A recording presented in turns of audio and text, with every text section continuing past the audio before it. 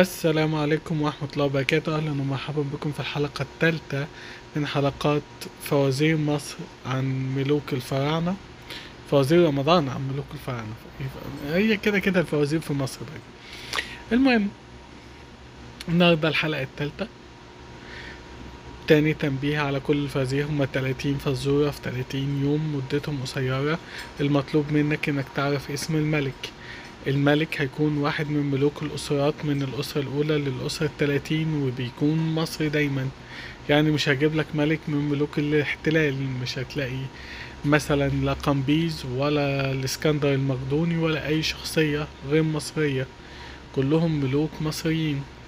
اللي بيروي إن الفوازير هو أبو الهول اللي خرج عن صمته وقرر يتكلم ويقول ملكنا عن ملك النهارده.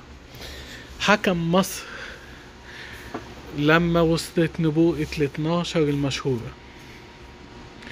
وحرر مصر من حكم أشور بعد ما كانت مكسورة.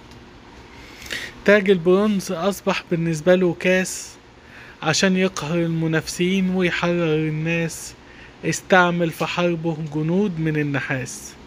نقل العاصمة لسايس في الشمال وبعد موته كسفت الشمس في الحال. أول ملك من ست ملوك حكموا في سايس. عرفت اسمه ولا لسه حايس؟ نقولها مرة تانية. حكم مصر بعد نبوءة الاتناشر المشهورة. وحررها من حكم أشور بعد ما كانت مقهورة. تاج البرونز أصبح بالنسبة له كاس. عشان يقهر المنافسين ويحرر الناس استعمل في حربه جنود من النحاس. نقل العاصمة لسايس في الشمال وبعد موته كسفت الشمس في الحال. أول ملك من ست ملوك حكموا في سايس. عرفت اسمه ولا لسه حايس؟